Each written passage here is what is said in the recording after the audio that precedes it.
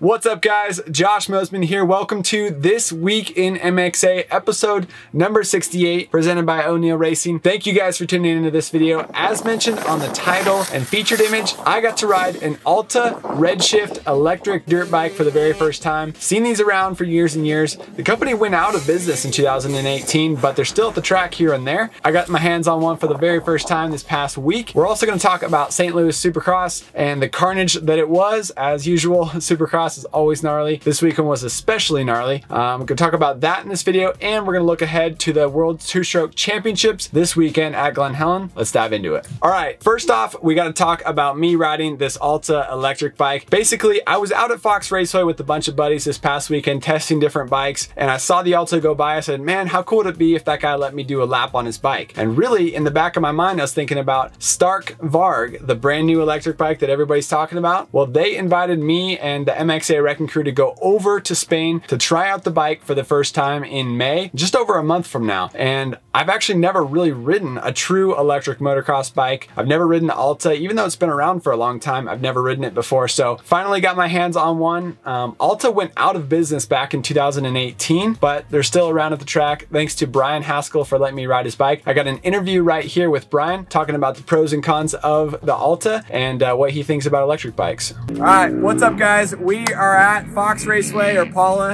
and today we're riding two strokes, four strokes. I saw Brian here on the Alta, and uh, I was interested. I was like, man, I've never ridden one of these bikes, and I wanted to give it a try. And my buddy Shelby, who's standing right next to me, said, hey, I know Brian, he'll let you try it. And uh, so that's how that's how this basically worked out. And uh, this thing is super exotic looking. Alta's been around for a long time, so it's not a new motorcycle. Um, and, and Brian was reminding me Alta went away back in 2018, but there's still a few of them at the track. I was surprised to see him go by me earlier today when I was on the side of the track and he was jumping the doubles. I couldn't hear him. Gosh, there's so many great things about electric dirt bikes. First off, they're so easy to ride. You don't have to worry about shifting or using a clutch. So if you think about it, you're always in the right gear all the time. And a lot of the mistakes you make out on the motocross track, maybe you're in the wrong gear or you miss a shift. Yeah. Hopefully you don't, but you miss a shift and this thing you're just in the right gear all the time. You have all the power you need all the time and it's super smooth. There's no vibration whatsoever.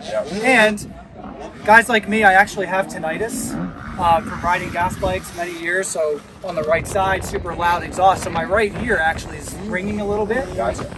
This bike's a dream for that. So on a gas bike, typically I'll wear earplugs. Don't have to do that with this. So Yeah. it's super nice. Nice. Um, cons, people can't hear me coming. Yeah. um, so I spook people Yeah. pretty often. And, Yeah. you know, I just have to be careful when I'm passing guys that I give them enough room and really make sure they understand that I'm there and stuff. But it's really not a con. It's just something you have to deal with. It's Totally. actually quite fun sneaking up on people and, uh, you know, spooking them a little bit. But man, That's cool. it's just so much fun to ride. It's really there's no other bike that offers the experience that an electric bike does, and uh, can't wait for you to try it out. Yeah, I'm excited to try it out. It's gonna be pretty fun. And uh, Brian here is also the first, uh, placed the first order for the Stark Varg. So um, pretty interesting stuff. The Stark guys talked about it, and they're actually gonna fly you over there, right, to ride in Spain? Yeah, so uh, I'm getting married in June, so that's pretty cool. But uh, so I'll be going over to Spain uh, shortly after my wedding. Uh, I can't wait to ride that bike. It looks about on par, if not better, than this bike. So nice. I'm really excited to, to, ride that bike. It's got great components, it's got good specs, and uh, those guys know what they're really doing over there. So um, you're going to have a blast over there when you go, and I'm sure I will too. So. Sweet, sweet. All right, let's try this thing out.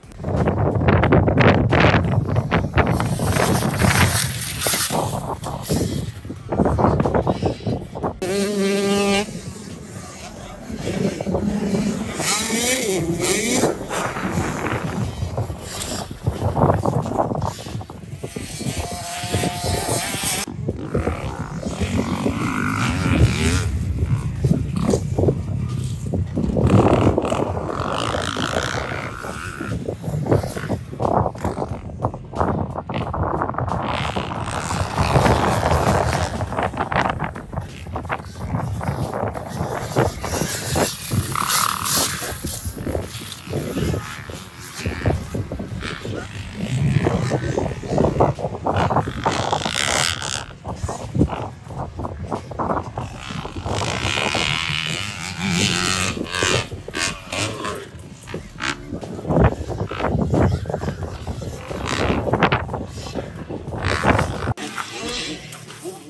Want to do uh, both of us, or you just want to talk about it? Yeah, I'll throw you in. Okay. Uh, all right, that was very, very surprising. I'm still like trying to process what happened, but it was really fun. Like at the inside table over there in that far rhythm section where like the finish line normally is, on the KTM and the Gas Gas 150, it was tough to get that inside inside line and still clear the tabletop. And I basically stopped in the turn, turned the electricity on, and cleared it. So that was pretty wild. Yeah. Uh, but dude, it's a little, it's definitely heavy, but it is so much fun Mm-hmm. thinking like hitting ruts and not worrying about uh, shifting or the or the clutch. It's like definitely more fun than I expected, and definitely made me want one a lot more than I expected. And I don't know, man. Like I love So, I this- love two strokes. I love four strokes. This is the exact same uh, reaction everybody has when they get off this thing. They're just blown away. Yeah, Because before you you ride it, you're like, oh, it's probably like a golf cart. It's gonna be lame. Yeah. But these things are the real deal, man. Yeah.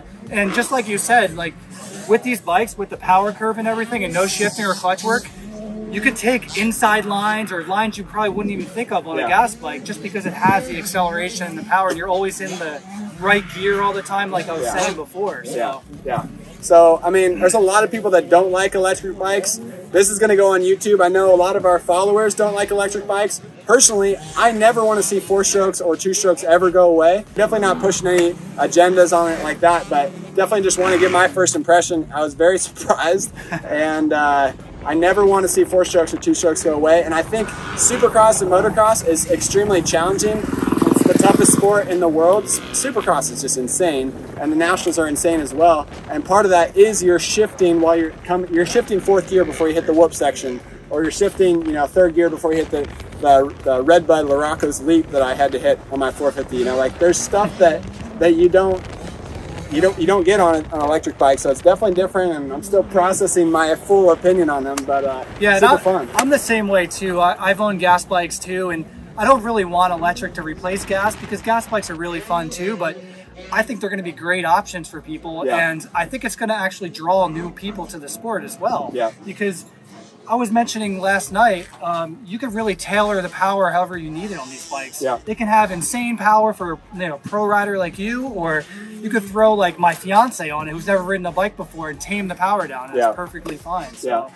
it's really going to be, I think, a game changing for the sport. yeah, pretty fun. Pretty fun. Uh, other than that, and Brian has a YouTube channel. Check him out on there. Where can people find more about you? Because he's got a video that's got two million views. Him get hole shotting a Yamaha YZ 450F off the start at Cahuilla, and Cahuilla's at elevation. You got Uh, chances are they probably saw it already. probably already seen it. You guys can find me on Instagram and YouTube at BW Haskell. Um, plain simple. All right, there you go. Give him a follow, and uh, thank you guys for watching the video. This was on lap number one and just Enzo carnage. Going over the handlebar. Here's Brown involved in this one, nowhere to go. And Ricky, this was a little technical because it looks like he hits a tough block right there and only lost night, one. but then when you Watch get a bad get start, you're you you subject yourself to this kind of stuff. Rightfully so, man. You take hard licks like that, it can le- leave a lasting effect.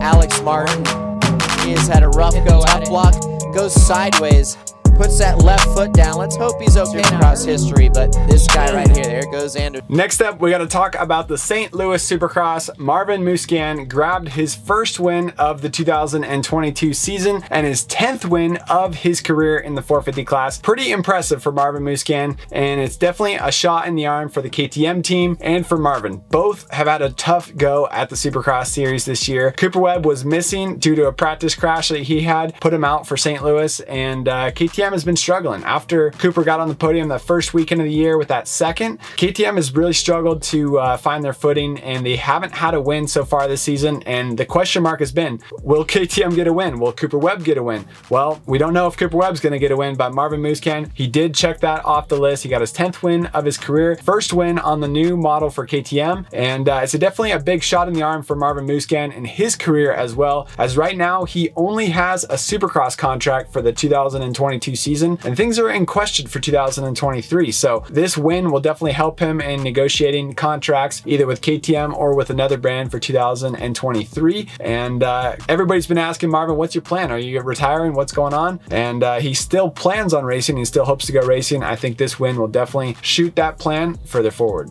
It was also a big night for the Husqvarna team. Rockstar Husky got their first win of the season in the 250 class with RJ Hampshire getting his first ever win in the 250 Supercross main event. Uh, it was an overall win at the Triple Crown and pretty wild stuff. So uh, RJ, I thought he had already won a 250 main event by now, but apparently he hasn't. Um, his first win ever, St. Louis Supercross, also a win for the KTM group, having their new Rockstar edition, the Husky 250 win, 250 main event. So good times for RJ Hampshire. He's a buddy of mine and I'm stoked to see him get the win. And uh, you can see a huge weight lifted off of his shoulders after the main event. We also have some injury updates. As you guys probably saw on TV, St. Louis Supercross was a brutal one. Lots of big crashes going on during the night show. Dean Wilson had the biggest one and the, one of the most gnarly crashes we've seen, uh, or at least gnarly injuries we've seen, something that doesn't happen very often. Uh, he got a foot peg to the butt and he talked about it on Instagram. Thankfully, he is relatively okay. He had two surgeries on Saturday night and another one scheduled after that. Hopefully things continue to progress in the right direction for Dean Wilson. He said that his, his laceration in his behind was 10 inches deep. You could stick your whole hand in there, um, according to the doctor and according to Dean Wilson on his Instagram. So best of wishes to Dean Wilson. Um, great rider, a great ambassador for our sport. He's a lot of fun to follow on social media and uh, always a nice guy at the races. We also have an injury update for Kyle Peters. Kyle Peters, the Phoenix Racing Honda 250 rider. He is the Arena Cross champion and he was the reason for the red flag in the 250 main event um, as he was hauled off the track. You could see that he was moving his arms and legs around a little bit on the track, but uh, he ended up breaking his C5 and C6 vertebrae in his neck. Phoenix Racing Honda team posted that he had surgery and that he was uh, that the surgery went well and he's on the road to recovery now. So all the best for Kyle Peters and Dean Wilson and the rest of the riders that took hard hits on Saturday. Next up, we'll talk about the World Two Stroke Championship coming up this Saturday. It's uh, Easter weekend, Saturday, April 16th at Glen Helen. It's going to be a lot of fun. We have a lot of heavy hitters on the sign up list that are planning on coming. Um, excited to see everybody there. We talked about it in videos prior, but Zach Osborne, Josh Grant, Mike Alessi, some heavy, heavy hitters. They're going to be racing the Open Pro two-stroke class this weekend at Glen Helen. They also have the Pasha 125 class, uh, Pasha 125 Open Pro, so you can run up to a 150. I have a screaming 150 from Schneike and Mitch Payton over at Pro Circuit. That thing is going to be a lot of fun. And uh, I'm also racing a stock Gas Gas 252 stroke. Well, not really stock. It's got a pipe and uh, some other mods to it. 252 stroke in the Open Pro class. That one you can run up to 300s, 500s. You've seen it all in the two stroke class there. So going to be a lot of fun this weekend. It's a Saturday only race. So people have asked me, is it Saturday and Sunday? What day is my class on? It's all on Saturday. So get your racing in on Saturday. It's going to be a lot of fun. Track's going to be brutal. And then Easter Sunday, you can take it off. Uh, no racing, no riding on Sunday. So good times this weekend. Glen Helen World Two Stroke Championships. If you're not in California and you're not planning on being there, check out motocrossactionmag.com. So we'll have videos from the race, we'll have race results from the race, and we'll have some articles showing off some of the two strokes in the pits at the track as well. It's gonna be a fun time. All right, guys, that's it for this video. We had a lot of fun. I had fun riding the electric bike for the first time. More fun than I expected, to be honest. Um, and I'm excited to go ride that Stark Starkvarg here in a couple weeks in May. Also excited for the Two Stroke World Championships this weekend. It's gonna be a lot of fun. Check out all of our coverage from that race on our website, motocrossactionmag.com. Subscribe to the YouTube channel so you can be up to date with our latest videos. Thank you for tuning in, and we'll see you in the next one.